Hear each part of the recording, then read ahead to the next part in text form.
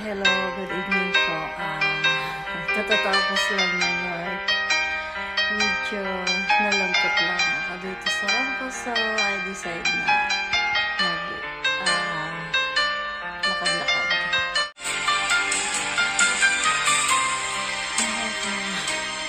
Stress. Kaya relax, relax lang. Okay to be okay when you're not okay.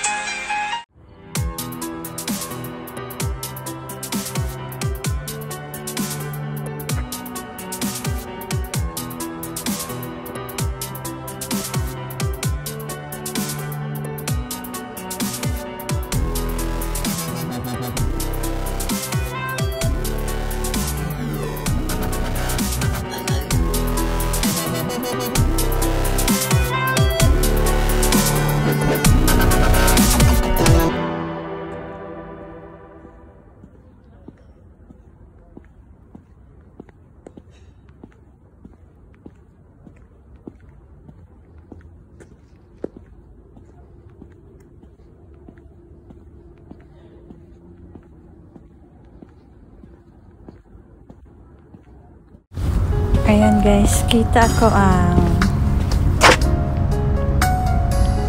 ang moon. Kung pwede lang hawakan ko. Ayan. Yung buwan. Good evening guys. Hindi pwedeng maging malungkot. Pag nalalungkot ka, paglakad ka.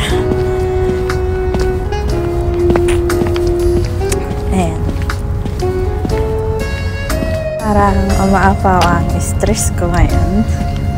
Bawas-bawasan natin. Pero kapit lang tayo kahit anong stress or ah, may something na mga hindi okay. Ah, darating yung araw na magiging smooth ang lahat. Kapit lang at saka ano lang tayo.